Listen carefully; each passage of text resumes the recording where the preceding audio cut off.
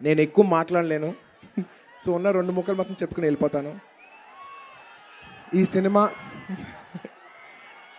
ఈ సినిమా నన్ను నమ్మి నాకు ఏ రోజు ఏ ఇబ్బంది లేకుండా నేను అడిగిందల్లా ఇచ్చి నన్ను చాలా బాగా చూసుకున్న మా ప్రొడ్యూసర్స్ లగడపాటి శ్రీధర్ గారికి సభాముఖంగా నేను ధన్యవాదాలు తెలియజేసుకున్నాను. Thank you so much sir అలాగా ఎప్పటి నుంచో నాగబాబు గారికి నేను ఎలాగైనా సినిమా చేయాలని అనుకుంటున్నాను. నిజంగా ఇవాళ అవకాశం కుదిరినందుకు ఇది ఆయన ఎలా ఫీల్ అవుతున్నారు కానీ ఇది నా అదృష్టంగా నేను భావిస్తున్నాను. బాబాయ్ సో ఇట్స్ అన్ ఆనర్ నాకు ఎంతో ఇష్టమైన వ్యక్తికి నేను సినిమా చేసుకోవడం అనేది నా అదృష్టం. అలాగే Bunny Vas thank you so much నేను ఎంత ఇబ్బంది పెడతానో నాకే తెలుసు. నా టార్చర్ అంతా భరించి నాతో సినిమా చేసినందుకు thank you Vasu. And uh, ఈ సినిమా మ్యూజిక్ డైరెక్టర్స్ విశాల్ శేఖర్ గారు అండ్ ఈ సినిమాకి పనిచేసిన చాలామంది అందరికీ మనస్ఫూర్తిగా ధన్యవాదాలు తెలియజేసుకుంటున్నాను. అండ్ అన్నీ మాట్లాడతాం కంగారు పడద్దు.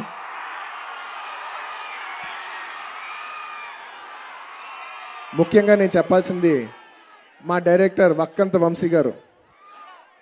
ఆయన ఈ సినిమా గురించి నేను ఎక్కువ ఏం చెప్పను ఒక్క ముక్కలో చెప్తాను. ఈ సినిమాలో హీరోకి ఒకే ఒక గోల్ ఉంటుంది.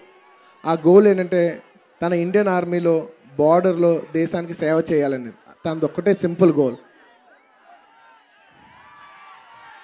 ఆ ఒక్క ముక్క చాలు.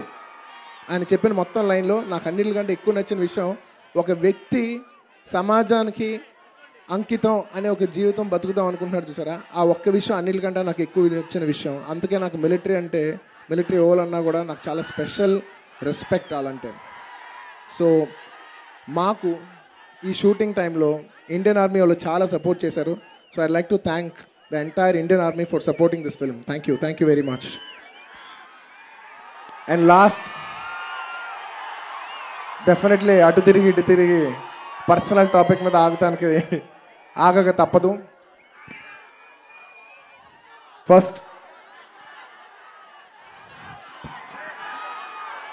ఈ ఫంక్షనే కాదు ప్రతి ఫంక్షన్కి వచ్చేసి ఎంతో ఉత్సాహం వేస్తున్న ఎప్పటి నుంచో వస్తున్న ఇంకా వస్తున్న రాబోతున్న ఎప్పుడు వస్తున్న సారీ మెగా అభిమానులందరికీ మనస్ఫూర్తిగా ధన్యవాదాలు తెలియజేసుకుంటున్నాను.